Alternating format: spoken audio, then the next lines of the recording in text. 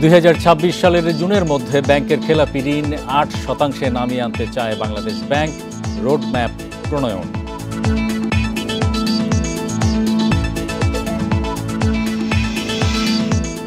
আবারও বাড়ল এলপিজির দাম, ভোক্তা পর্যায়ে বারো কেজি সিলিন্ডারে একচল্লিশ টাকা বাড়ালো বিইআরসি।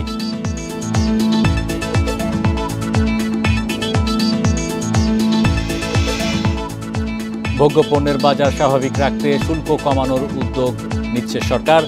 রোজার আগে ভারত থেকে আসবে পেঁয়াজ, চিনি।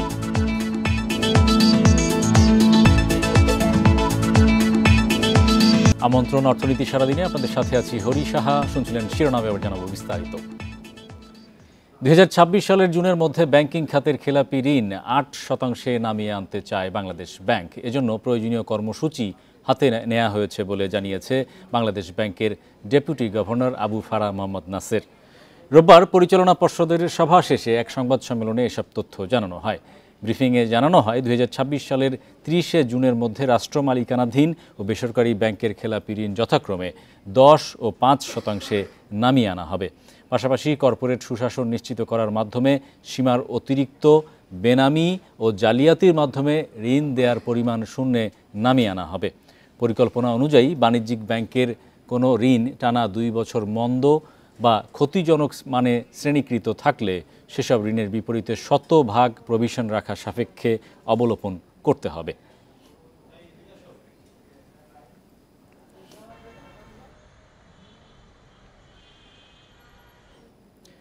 আবারও বাড়ল এলপিজির দাম, বারো কেজির সিলিন্ডারে চল্লিশ টাকা বেড়ে দাম এখন এক হাজার চারশো চুয়াত্তর টাকা। গত মাসেও বাড়ে উনত্রিশ টাকা। এনার্জি রেগুলেটরি কমিশন বিইআরসি কার্যালয়ে এক সংবাদ সম্মেলনে নতুন দাম জানানো হয় যা রোববার সন্ধ্যা থেকেই কার্যকর হবে। টানা সাত দফা বাড়ল এলপিজির দাম। ভোক্তা পর্যায়ে ফেব্রুয়ারিতেও বারো কেজির সিলিন্ডারে একচল্লিশ টাকা বাড়িয়ে এক হাজার চারশো চুয়াত্তর টাকা করেছে বিইআরসি প্রতি কেজি এলপিজির দাম এখন একশো বাইশ টাকা ছিয়াশি পয়সা। আমাদের বারো কেজি সিলিন্ডারের মূল্য গত মাসে ছিল চোদ্দোশো তেত্রিশ টাকা। এই মাসে সেটি হয়েছে চোদ্দোশো চুয়াত্তর টাকা। প্রতি কেজিতে একচল্লিশ টাকা বেড়েছে। তরলীকৃত পেট্রোলিয়াম গ্যাসের মূল উপাদান প্রোপেন ও বিউটেন। মধ্যপ্রাচ্য সহ বিভিন্ন দেশ থেকে আমদানি হয়। সৌদি আরামকোর দরকে ভিত্তিমূল ধরে প্রতি মাসে দাম সমন্বয় হয় দেশেও। উৎপাদন ব্যয় ও ডলারের দাম বাড়ায় গ্যাসের মূল্যেও প্রভাব পড়ছে বলছে বিইআরসি। সৌদি কন্ট্রাক্ট প্রাইস গত মাসে ছিল ছয়শো পঁচিশ দশমিক পাঁচ ডলার। এটা এই মাসে প্রায় দশ ডলার বেড়ে গেছে, ছয়শো ছত্রিশ দশমিক পাঁচ ডলার। ডলারের মূল- মূল্যের হিসাব ধরে আমাদের দুই দশমিক সাত তিন টাকা মূল্য বেড়েছে। এদিকে নিয়ন্ত্রক সংস্থা বেঁধে দিলেও বাজারে সে দামে পাওয়া যায় না এলপিজি। কোনো তদারকি না থাকায় ভোক্তাদের গুনতে হচ্ছে বাড়তি টাকা। ভোক্তা পর্যায়ে গাড়িতে ব্যবহৃত অটো গ্যাসের দাম প্রতি লিটারে দুই টাকা বাড়িয়ে সাতষট্টি টাকা আটষট্টি পয়সা ঠিক করেছে BERC. Ekramul Islam, Independent News, Dhaka. আগের সব রেকর্ড ভেঙে জানুয়ারিতে বাংলাদেশ মোট পাঁচশো বাহাত্তর কোটি ডলারের পণ্য রপ্তানি করেছে। আগের অর্থ বছরের একই সময়ের চেয়ে যা এগারো দশমিক পাঁচ চার পাঁচ শতাংশ বেশি। এর আগে এক মাসের সর্বোচ্চ রপ্তানি হয়েছিল গত বছরের ডিসেম্বরে। জানুয়ারিতে রপ্তানিতে প্রবৃদ্ধি হয়েছে প্রায় সাড়ে এগারো শতাংশ। যদিও তার লক্ষ্যের চেয়ে কিছুটা কম। চলতি অর্থ বছরের সাত মাসে মোট রপ্তানি আয় এসেছে তিন হাজার তিনশো ছাব্বিশ কোটি সাতচল্লিশ লাখ ডলার। গত অর্থ বছরের একই সময়ে যা ছিল তিন হাজার দুইশো চুয়াল্লিশ কোটি ডলার। এ সময় রপ্তানিতে আড়াই শতাংশ প্রবৃদ্ধি অর্জিত হয়েছে। তৈরি পোশাক খাতে চলতি অর্থ বছরের সাত মাসে রপ্তানি আয় এসেছে দুই হাজার আটশো ছত্রিশ কোটি টাকা, কোটি ডলার। এ খাতে রপ্তানি প্রবৃদ্ধি প্রায় সাড়ে তিন শতাংশ।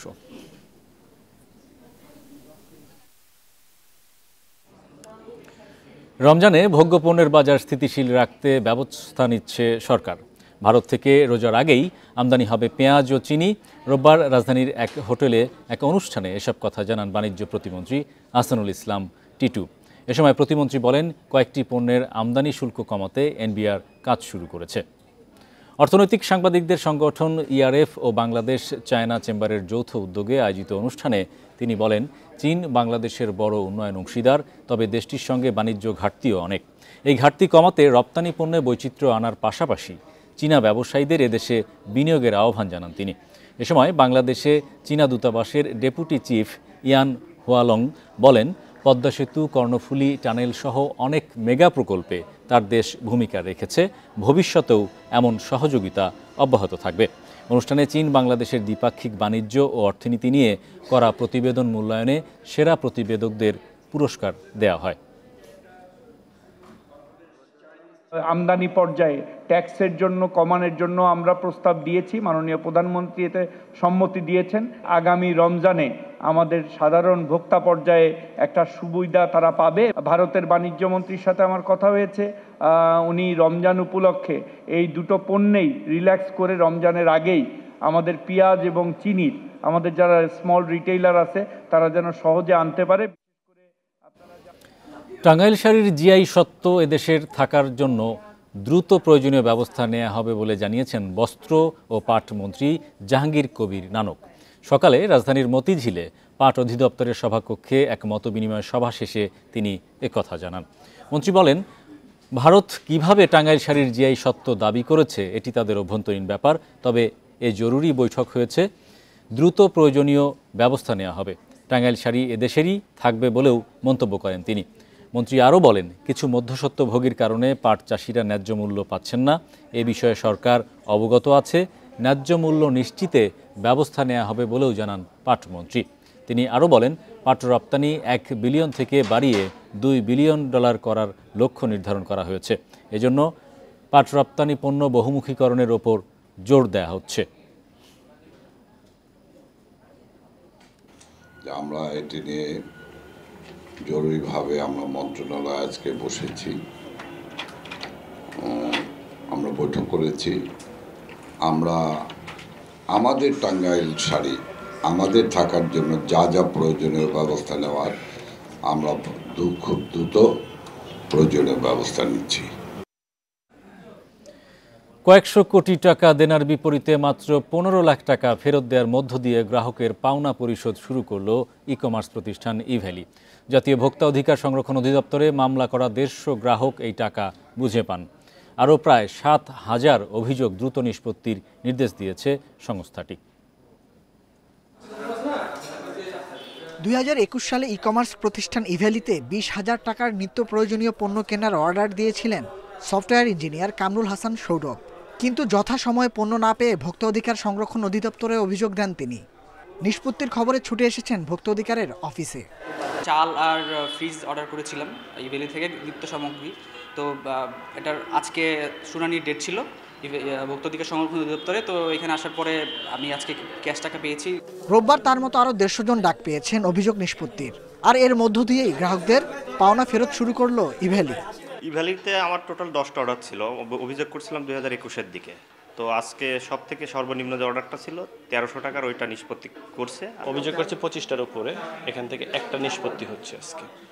ইভ্যালির কাছে গ্রাহকের পাওনা কত তার সঠিক কোনো হিসেব এখনও জানাতে পারেনি প্রতিষ্ঠানটি। তবে আসছে মে মাস থেকে আরও বড় পরিসরে গ্রাহকের পাওনা ফেরত দেওয়ার আশ্বাস দেন সিইও মোহাম্মদ রাসেল। বিজনেস করে যদি আজকে পনেরো লাখ টাকা অথবা দেড়শো অভিযোগ নিষ্পত্তি করতে পারি আমরা যদি ছয় মাস বিজনেস করতে পারি সেই সংখ্যাটা এই একই প্যাটার্নটা যায় না। পৃথিবীর সকল বিজনেস নেচারেই এটা যে এক্সপোনেনশিয়াল গ্রোথ সেটা আশা করি ইনশাল্লাহ হবে। আর বিনিয়োগ পেলে আমি বিনিয়োগের প্রথম শর্তই থাকবে আমার পুরাতন দেনা বিনিয়োগকারীকে পরিশোধ করতে হবে। এদিকে ভোক্তা অধিকার অধিদপ্তরে জমা প্রায় সাত হাজার অভিযোগ নিষ্পত্তিতে কঠোর হওয়ার হুঁশিয়ারি দিয়েছেন সংস্থার মহাপরিচালক। এই খাতে স্থিরতা আনতে সম্মিলিত উদ্যোগের উপরও জোর দেন তিনি। যে কম যাদের আছে সেগুলো। কম, সেটার মধ্যে আমরা দেড়শো জনকে আমরা পনেরো লক্ষ টাকা দিচ্ছি। যে জিনিসটা ছিল যে আমাদের লিগ্যাল টুলস ছিল না লিগ্যাল ইনস্ট্রুমেন্ট ছিল না, এই কারণে অনেক কিছু হয়ে গেছে। এখন যাতে না হয়, সেই লিগ্যাল ইনস্ট্রুমেন্টগুলো আমরা তৈরি করেছি অলরেডি দুই হাজার আঠারো সালের ডিসেম্বরে যাত্রা শুরুর পরপরই বিভিন্ন অফার ও ডিসকাউন্টের চটকদার বিজ্ঞাপনে সাড়া ফেলে ইভ্যালি তবে আগাম অর্থনীয় পণ্য সরবরাহ না করার বিস্তর অভিযোগে দু হাজার একুশ সালের সেপ্টেম্বরে বন্ধ হয়ে যায় প্রতিষ্ঠানটি। আটকে যায় গ্রাহকের কয়েকশো কোটি টাকা। গ্রেপ্তার হন শীর্ষ কর্মকর্তারা। Nahid Kamal, Independent News, Dhaka. লক্ষ্মীপুরে গড়ে ওঠা বেশিরভাগ ইটভাটাই চলছে অবৈধভাবে। এতে পরিবেশ ও স্বাস্থ্যগত নানা ঝুঁকি তৈরি হচ্ছে আশেপাশের এলাকায়। স্থানীয়দের অভিযোগ, বিভিন্ন পক্ষকে ম্যানেজ করেই চলছে এইসব ভাটা। লক্ষ্মীপুরের বিভিন্ন স্থানে গড়ে উঠেছে শতাধিক ইটভাটা এগুলোর বেশিরভাগেরই নেই পরিবেশগত ছাড়পত্র।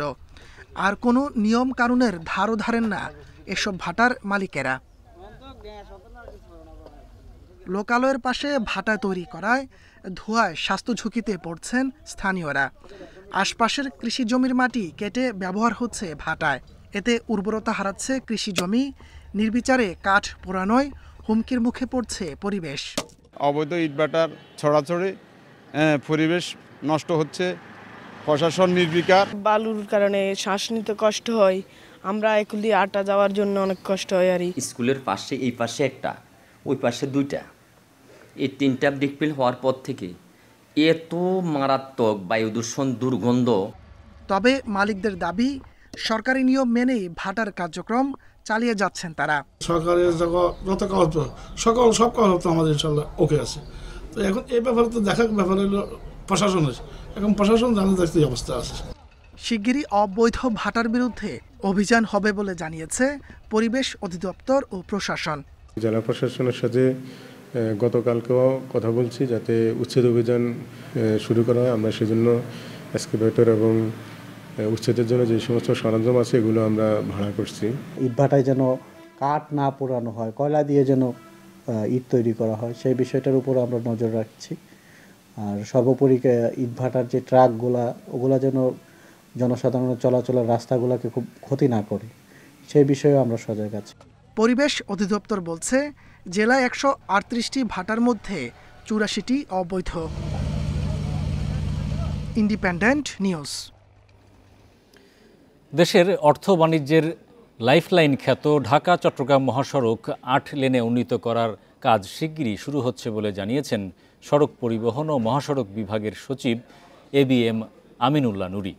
রোববার চট্টগ্রাম সার্কিট হাউসে মহাসড়কের উন্নয়নের লক্ষ্যে প্রস্তাবিত ডিজাইনের ওপর আয়োজিত মতবিনিময় সভায় একথা জানান তিনি।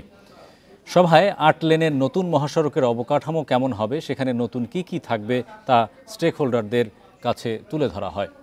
নতুন মহাসড়কে পার্কিং ও ট্রাফিক ব্যবস্থা উন্নত করা, কোথাও কোথাও সড়ক প্রশস্ত না করে এক্সপ্রেসওয়ে নির্মাণ সহ বিভিন্ন সমস্যা ও প্রস্তাবনা তুলে ধরা হয়।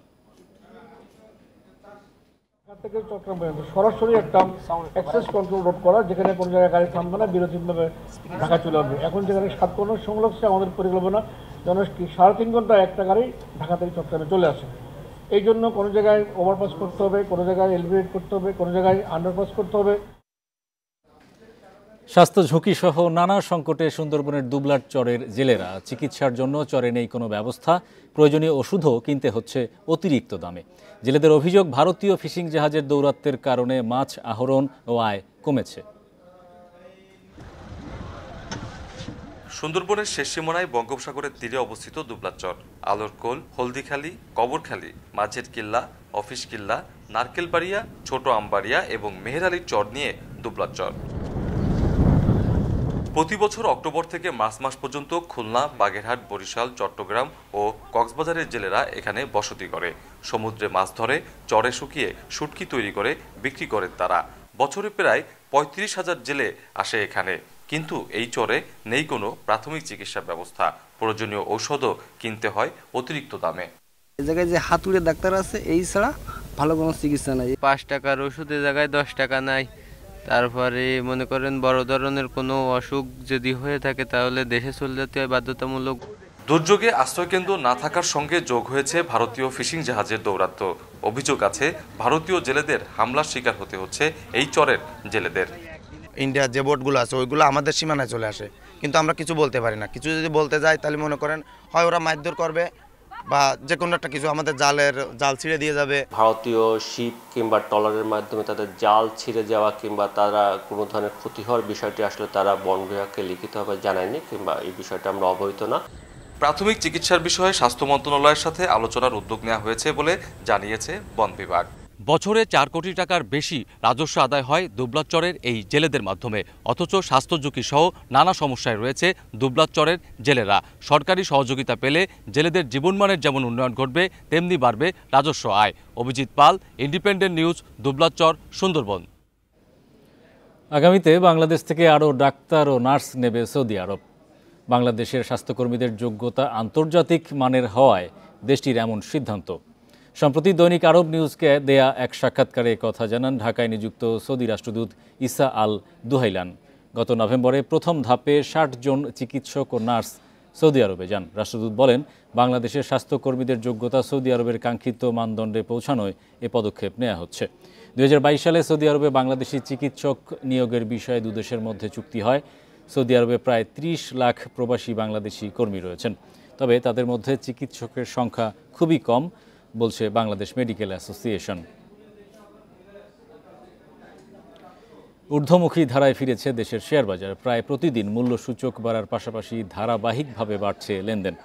রোববার ডিএসির প্রধান সূচক ডিএসিএক্স বেড়েছে ছেষট্টি দশমিক সাত চার পয়েন্ট। সপ্তাহের প্রথম কার্যদিবসে ঢাকার শেয়ার বাজারের লেনদেনও বেড়েছে, দাঁড়িয়েছে পনেরোশো আশি কোটি টাকা। এ সময় লেনদেনে অংশ নেয়া তিনশো পঁচানব্বইটি কোম্পানির শেয়ারের মধ্যে তিনশো একুশটির দর বেড়েছে। কমেছে চুয়াল্লিশটির আর তিরিশ কোম্পানির শেয়ার দর অপরিবর্তিত আছে। সর্বাধিক লেনদেন হওয়া শেয়ারের তালিকায় রয়েছে Fuwang food, Khulna printing, Fortune shoes তামবৃদ্ধির শীর্ষে থাকা প্রতিষ্ঠানের মধ্যে রয়েছে Kattali textile, Nurani dyeing, BD finance. অন্যদিকে চট্টগ্রাম স্টক এক্সচেঞ্জের সার্বিক সূচক বেড়েছে দুইশো আঠারো দশমিক ছয় সাত পয়েন্ট। অবস্থান করছে সতেরো হাজার আটশো চুয়াল্লিশ দশমিক সাত নয় পয়েন্টে। রোববার সিএসিতে লেনদেন হয়েছে আঠারো কোটি একচল্লিশ লাখ টাকার শেয়ার।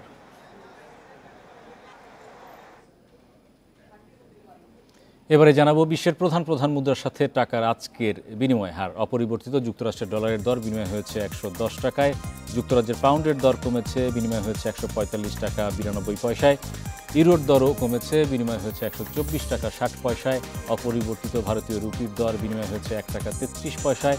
অপরিবর্তিত সৌদি রিয়ালের দর বিনিময় হয়েছে উনত্রিশ টাকা আটচল্লিশ পয়সায়। আমিরাতের দিরহামের দরও অপরিবর্তিত বিনিময় হয়েছে ত্রিশ টাকা দশ পয়সায়। কুয়েতি দিনারের দর কমেছে, বিনিময় হয়েছে তিনশো উনষাট টাকা সাতান্ন পয়সায়। বেড়েছে মালয়েশিয়ান রিঙ্গিতের দর, বিনিময় হয়েছে তেইশ টাকা ছেচল্লিশ পয়সায়। এই ছিল আজকের অর্থনীতি সারাদিনে। ইন্ডিপেন্ডেন্ট টেলিভিশন সব খবর জানতে চোখ ফেসবুক ইউটিউব এবং এক্সে আমন্ত্রণ আমাদের পরের আয়োজন।